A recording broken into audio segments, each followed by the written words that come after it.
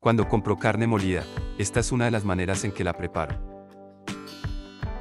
Iniciamos picando finamente una cebolla blanca mediana. Luego en una sartén añadimos dos cucharadas de aceite y freímos la cebolla.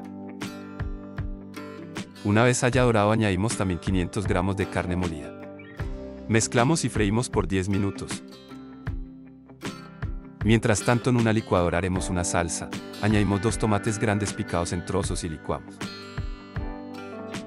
Luego agregamos un cuarto de cebolla de huevo blanca y tres dientes de ajo. Licuamos de nuevo y reservamos.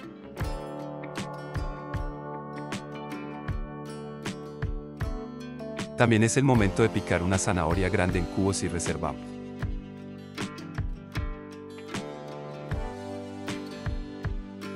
En el siguiente paso integramos la salsa a la carne.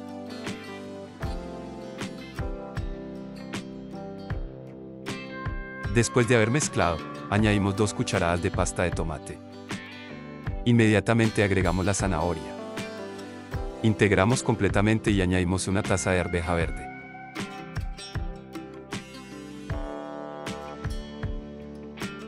No olvides que en la descripción del video o en el primer comentario, encuentras el enlace con la receta, donde están escritos los ingredientes.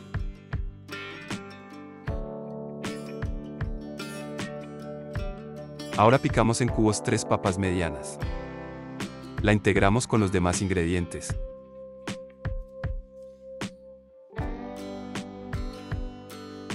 Es el momento de condimentar con una pizca de orégano seco y sal a gusto propio. Tapamos y dejamos cocinar 15 minutos. Pasado este tiempo nuestra preparación estará lista.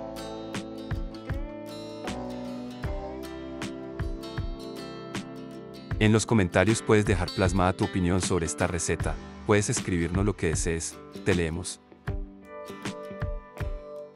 Listo, ya está. Es el momento de servir, busquen el mejor acompañamiento para este picadillo.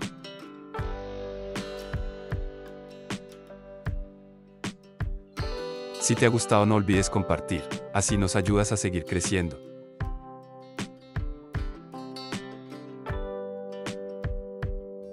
Como siempre un saludo para todos nuestros suscriptores y seguidores. El saludo de hoy es para Jenny Paola, Mariana de Jesús, Esteban López y Jolio Espina. Gracias por siempre vernos.